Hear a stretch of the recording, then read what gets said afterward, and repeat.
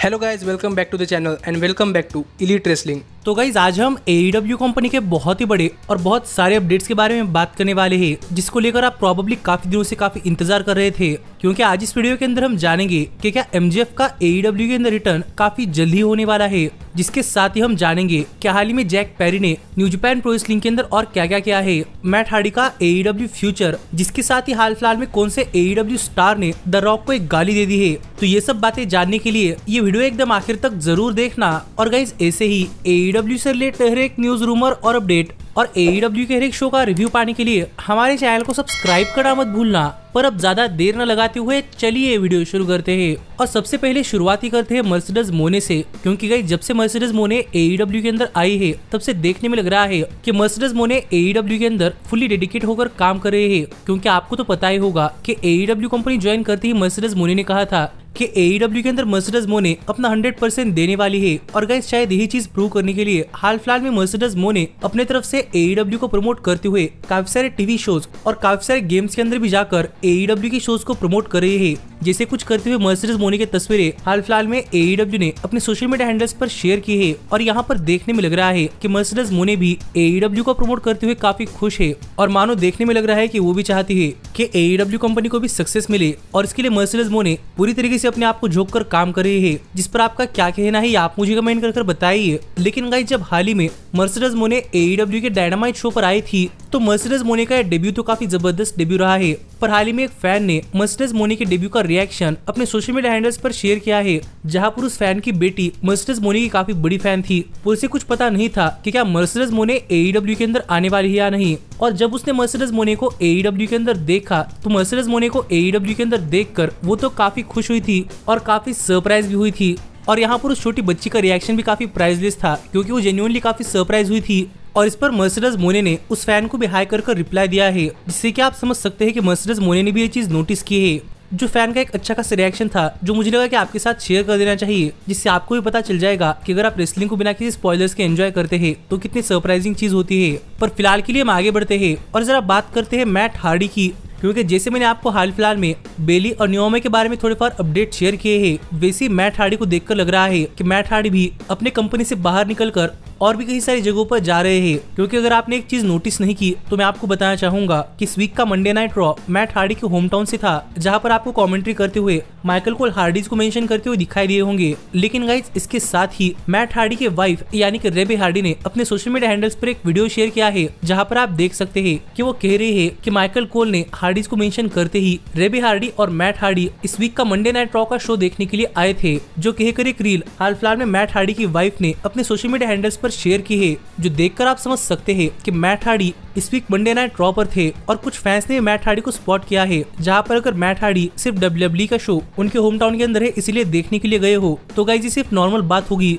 पर हाल ही में मैट हार्डी को लेकर एक काफ़ी सरप्राइजिंग अपडेट भी सामने आई है। और गाइज़ यहाँ पर बताया जा रहा है कि प्रोबेबली मैट हार्डी की AEW के साथ डील काफ़ी जल्दी खत्म होने वाली है और यहाँ पर मैट हार्डी AEW कंपनी के साथ नए डील पर निगोशिएशन कर रहे हैं, जो अपडेट हाल फ़िलहाल में मैट हार्डी को लेकर सामने आ रही है। और ऐसे में हमने देखा भी है कि मैट हार्डी AEW के अंदर अपने बुकिंग से काफ़ी नाराज़ दिखाई दे रहे थे और ऐसे में मैट हार्डी डब्ल्यू के शोज़ भी देखने के लिए गए थे। इसलिए हाल फ़िलहाल में रेसलिंग वर्ल्ड के अंदर मैट हार्डी को लेकर काफ़ी स्पेकुलेशन चल रही है कि मैट हार्डी पहले ही AEW के अंदर उतने खुश नहीं दिखाई दे रहे। उनकी डील भी एक्सपायर हो रही है और हाल फ़िलहाल में वो डब्ल्यू के शोज़ पर भी गए थे। तो प्रोबेबली सब लोग कह रहे हैं कि मैं मैट हार्डी AEW कंपनी छोड़कर शायद दोबारा से डब्ल्यू के अंदर आते हुए दिखाई दे सकते हैं, जो कि अगर होता है तो गाइज़ ये काफ़ी बुरी बात होगी, क्योंकि हमें अभी AEW के अंदर हार्डी बॉयज़ का वो आइकॉनिक रन नहीं देखने को मिला, जो कि हम देखना चाहते हैं और मुझे लगता है कि मैट हार्डी भी वही चीज़ देख रहे हैं कि उन्हें अपने भाई के साथ एक आखिरी और एक काफ़ी ज़बरदस्त रन चाहिए। और अगर Matt Hardy W company join भी करते हैं तो मुझे नहीं लगता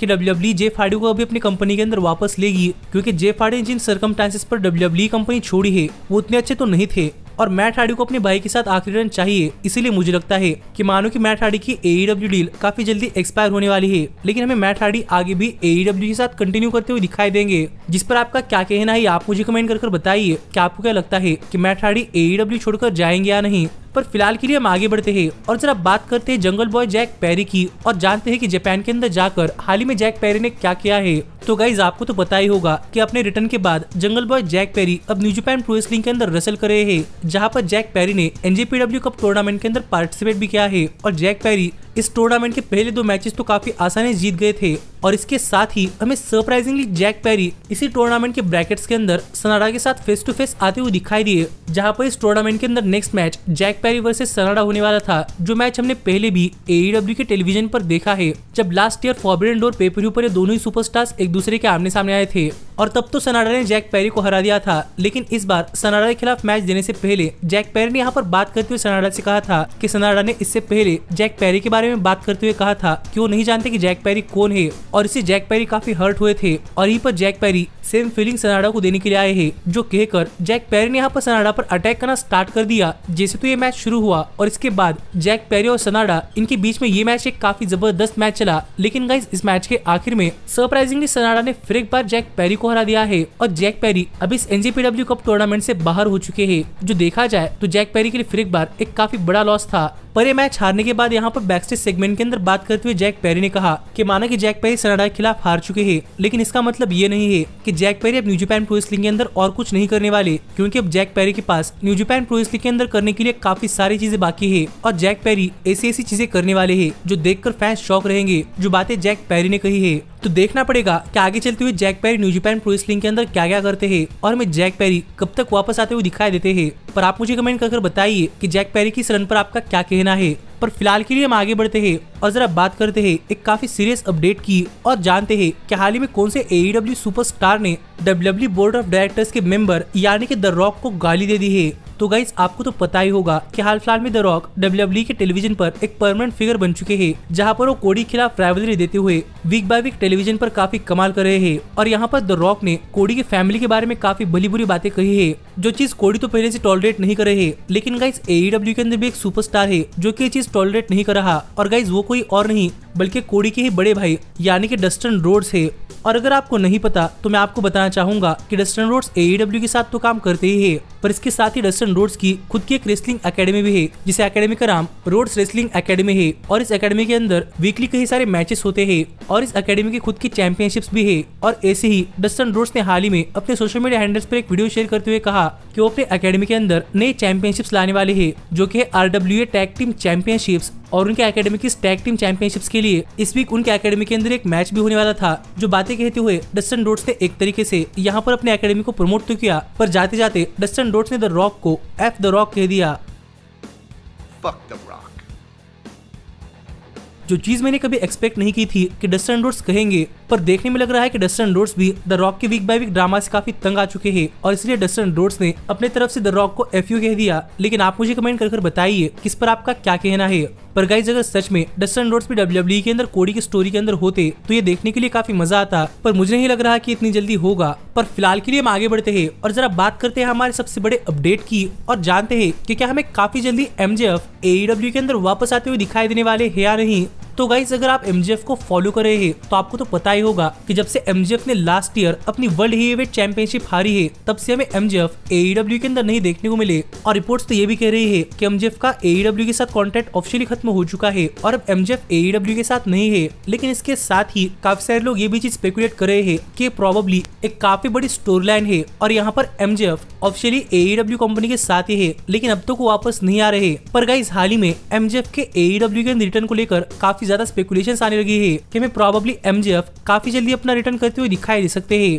और गाइज़ ये सब स्पेकुलेशंस इस बार इसलिए आ रही है क्योंकि हाल ही में एईडब्ल्यू ने अपना नया pay per view AEW dynasty announce कर दिया है, जो कि अप्रैल 21 को होगा। और टोनी खान ने इस पेपर यू के बारे में बात करते हुए कहा था कि टोनी खान को लग रहा है कि एईडब्ल्यू का रोस्टर काफ़ी ज़बरदस्त हो चुका है, इसलिए टोनी खान ने इस नाम का पेपर यू अपनी कंपनी के अंदर रखा है, क्योंकि इसका मतलब होता है, मानो की एक तरफ़ से एक रॉयल फैमिली जो की किसी चीज़ को रूल करती है, और टोनी खान का विजन ये था कि एईडब्ल्यू के अंदर ऐसे कई सारे सुपरस्टार्स हो चुके हैं, जो कि एईडब्ल्यू को रूल कर रहे हैं। इसीलिए टोनी खान ने इस नाम का पेपर अपनी कंपनी के अंदर अनाउंस किया है। जो बात तो टोनी खान ने बताई थी, पर गाइस फैंस ने एक चीज़ नोटिस की है कि जब एमजेएफ एईडब्ल्यू कंपनी ज्वाइन करने से पहले इंडीज के अंदर काम करते थे, तब एमजेएफ की एक फैक्शन भी थी। और गाइस तब एमजेएफ के फैक्शन का नाम द डायनेस्टी ही था। और हाल ही में एईडब्ल्यू का अपकमिंग पेपर भी डायनेस्टी है। इसलिए इस चीज़ को पॉइंट आउट करते हुए काफ़ी सारे रेसलिंग फैंस ये स्पेकुलेट कर रहे हैं कि हमें प्रॉबली एमजेएफ इस डायनेस्टी पेपर पर अपना रिटर्न करते हुए दिखाई दे सकते हैं, क्योंकि इसके पहले एमजेएफ ने इंडीज के अंदर डायनेस्टी नाम के फैक्शन के अंदर भी काम किया है।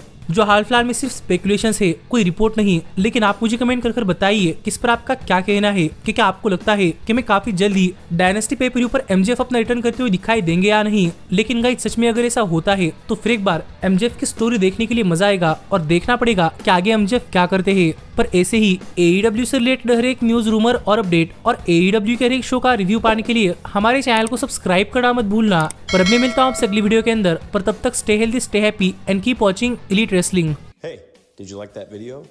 Click the screen for more.